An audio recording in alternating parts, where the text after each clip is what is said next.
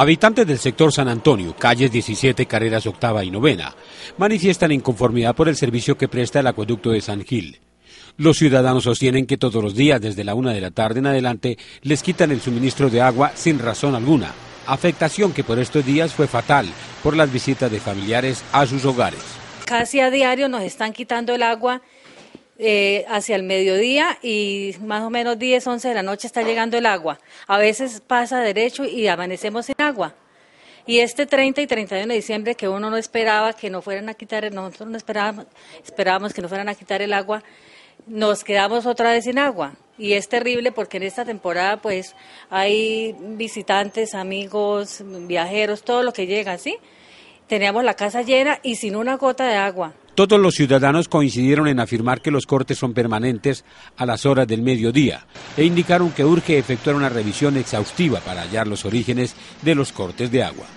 Vengo a pasar temporada y pues nos hemos visto afectados eh, con los cortes de agua, pues eh, siendo una ciudad tan turística como es San Gil, yo soy de acá de San Gil, pero vivo eh, varios tiempos ya en Bogotá incluso vienen invitados y todo y pues tenemos esta problemática que se ha presentado y no, no veo por qué, porque nos está afectando, mejor dicho, nos está afectando y, y hay días que se ha ido el corte de luz desde la una de la tarde hasta las 10 de la noche.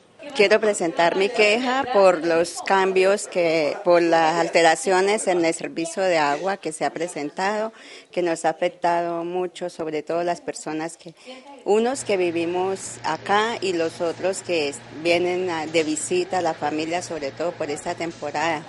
Están haciendo los, los cortes demasiado extensos, eh, no hay forma de solucionar, no dicen nada y estamos muy preocupados por eso porque no hay ninguna explicación y nosotros nos vemos muy afectados. Deberían, por ejemplo, si necesitan hacer un corte, avisar a la comunidad y disponer en diferentes horas, así sea un poco en cada barrio, para que no afecte solamente a un solo sitio como nos está afectando a nosotros en esta zona. Todos los días quitan el agua a partir de mediodía y la vuelven, vuelven a echarla a, como a medianoche, 11, 11, 10, 11 de la noche. Y entonces mm, hemos llamado a Cuasán y no nos responden. Nos dicen que eh, cuando nos responden que es un daño que hay, que es que hay mucha, mucho consumo de agua, que por eso que tengamos paciencia, pero hemos averiguado y es en solamente en esta, en esta parte de, la, de la ciudad.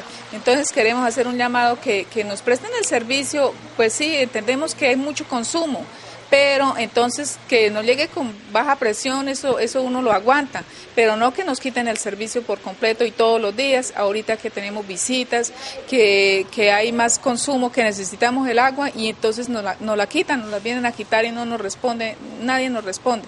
Los consultados reconocen no haber hecho por escrito ningún reclamo directo a la empresa, sino por medio de llamadas. Si es un daño en la zona, que se haga una revisión efectiva, resaltaron los ciudadanos.